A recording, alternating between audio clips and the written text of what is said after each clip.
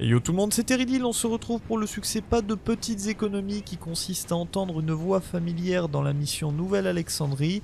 Donc en fait il s'agit d'enclencher l'objectif secondaire où il faut escorter Buck. Donc il se peut que ce succès se soit imposé à vous parce que l'objectif s'est enclenché de lui-même, mais il est tout à fait aléatoire et des fois vous pouvez réaliser la mission 5 ou 6 fois sans que vous ayez cet objectif.